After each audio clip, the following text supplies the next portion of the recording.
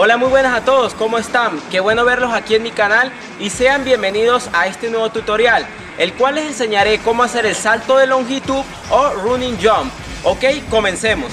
Este movimiento consiste en dar un salto con un solo pie en el cual vamos a tomar una carrera previa y con una recepción similar a la del salto de precisión o bien también puede ser utilizada para un salto de brazo. Como único requisito te aconsejo que sepas hacer bien el salto de precisión y si aún no lo sabes te invito a verlo aquí abajo en la descripción del video un tutorial muy bueno que hice de este. Este salto es similar al salto de longitud en el atletismo, solo que en este se busca llegar de un punto a otro pasando una distancia hueca entre la salida y la recepción del salto. Al comienzo puedes realizarlo mejor desde plano, marcando los puntos de salida y llegada, para así ir teniendo una noción del salto al momento de hacerlo con bordes o muros. No es necesario tomar tanta carrera o pasos, lo importante es tratar de correr o dar esos pasos lo más rápido posible sin tomar tanta distancia. Aunque si crees que esto te dará más confianza, trata de meter la máxima velocidad en los últimos tres pasos, para que así no vayas a perder la potencia con mucha distancia. Entonces la técnica está en saltar con un pie y el otro llevarlo arriba como un rodillazo llevando el cuerpo en dirección diagonal si queremos desplazar mucho.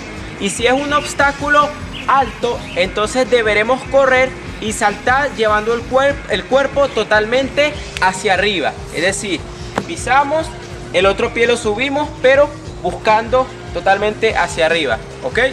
Un punto importante es tratar siempre de recepcionar y no moverse. Es decir, al caer, quedarse quieto como en un salto de precisión. Esto es para reflejar un mayor control y que el movimiento se vea limpio.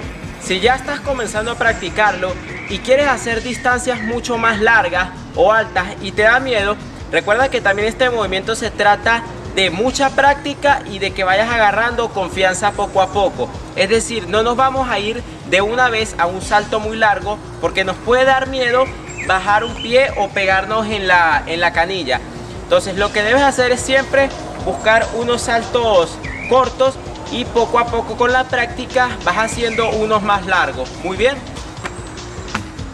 Ya después lo hacen con un salto de brazo o también lo pueden combinar con un mortal adelante o front flip. Que para esto cuya única diferencia será llegar en los últimos segundos de recepción con los brazos arriba. Todo será cuestión de confianza en ti mismo y mucha práctica. Y bien, hasta aquí el salto de longitud de parkour. Espero que te sirva y lo coloques en práctica.